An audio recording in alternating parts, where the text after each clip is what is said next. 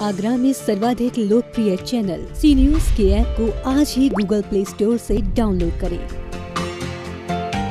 ताजनगरी में सोमवार से तस्वीर कुछ बदली बदली सी नज़र आ रही है। लखनऊ से आई टीम के बाद से स्वास्थ्य सेवाएँ और बेहतर होती जा रही हैं।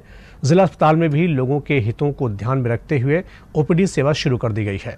ताजनगरी में लगातार संक्रमित मरीजों की संख्या दिन ब दिन बढ़ती जा रही है। ऐसे में बढ़ते आंकड़ों पर लगाम लगाने के लिए स्वास्थ्य विभाग, जिला प्रशासन द्वारा कई बड़े कदम उठाए गए हैं। इस दौरान लखनऊ से आई टीम ने भी अस्पतालों का निरीक्षण किया। साथ ही ताजनगरी की जनता को इलाज को लेकर किसी प्रकार की असुविधा न हो, इसका भी ख्याल रखा गया, जिसके चलते अस्पताल में व्यवस्थाओं को लेकर कुछ बदलाव भी किए गए हैं। साथ ही ओपीडी सेवा को भी बहाल किया गया है, जिसका मुख्य उद्देश्य जरूरतमंद मरीजों को समय से और सही इलाज मिल सके। हालाँकि इस दौरान मरीज़ और डॉक्टर के साथ साथ पैरामेडिकल स्टाफ को भी एहतियातन सावधानी बरतने को कहा गया है, जिसमें सभी को मास्क और सैनिटाइजर के साथ साथ अन्य उपकरणों का इस्तेमाल करने की सलाह दी गई है, जिसको लेकर सीएमएस द्वारा अहम जानकारी दी गई। कोई बात नहीं, लॉकडाउन को सख्त करने की बात की गई है, और जिला अस्पताल का तो आपको पता ही है, मैंने medical emergency, surgical emergency, orthopaedics, trauma emergency, period की इमरजेंसी, तीन दिन से हम चला रहे हैं, मरीज़ भर्ती कर रहे हैं, और सारा काम सुचारू रूप से चल रहा है। इसमें कोई दिक्कत नहीं जिला अस्पताल हर इमरजेंसी के लिए तैयार है। हम लोग चौथे फ़ेज़ की ओर जा रहे हैं अब। तो क्या कुछ मतलब सामान्य होने जा रहा है? अभी ये कहना जल्दबाजी होगा। अभी कम्युनिटी में स्प्रेड माइल्ड सा बताया गया है लेकिन संख्या पे न जाएँ आप। सबके सैंपल हो रहे हैं सब चिन्हित हैं। घबराने की कोई बात नहीं है जितने भर्ती हो रहे हैं उसमें से आधे से ज़्यादा ठीक होकर घर भी जा चुके हैं। और मीडिया ने अच्छी खबर ये बनाई है, पॉजिटिव माहौल बनना शुरू हुआ कि जो तथ्य मीडिया पूरी तरह से सामने ला रहा है जनता के।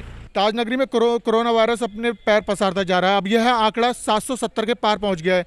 तो वही बात करें टोटल सैम्पलिंग की, वो भी साढ़े नौ हज़ार से ज़्यादा अब तक आगरे में सैम्पलिंग हो चुकी है। इसके बावजूद अभी 360 मरीज़ जो है ठीक होकर अपने घर जा चुके हैं। तीन साथ ही अगर बात करें लॉकडाउन थ्री की तो लॉकडाउन थ्री में अब चीज़ें काफ़ी हद तक सामान्य होती जा रही हैं।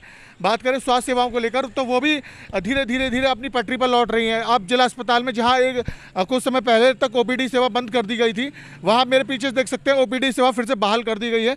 आप मरीजों को देख, साफ़ देख सकते हैं कि किस तरीके मरीज़ सोशल डिस्टेंस में खड़े होकर अपना पर्चा बनाने के लिए पर्चा विंडो पर खड़ा हुआ है। उसके बाद पर्चा बनवाने के बाद ये मरीज़, जो ओ के अंदर जाके अपने जो चिकित्सक है चाहे वो खांसी जुकाम से रिलेटेड हो चाहे वो अस्थिर रोग से रिलेटेड हो चाहे वो किसी भी अन्य रोग से रिलेटेड रिलेटेड हो ये उन डॉक्टरों को जाकर दिखाएँगे और डॉक्टर से परामर्श लेंगे। तो ये एक अच्छी खबर है ताज नगरी के लिए कि एस एन मेडिकल कॉलेज के साथ साथ अब जिला जिला अस्पताल में भी ओबीडी सेवा बहाल हो रही है जिससे जो मरीज़ जो अब तक डॉक्टर को दिखाने के लिए सोच रहे थे वो अब आसानी से जिला अस्पताल में और एस एन मेडिकल कॉलेज में अपने मरीजों को दिखा सक, सकते हैं और परामर्श लेकर दवाई ले सकते हैं। कैमरा पर्सन रामेश्वर के साथ अनिल कुमार सिंह सीनी जागरा।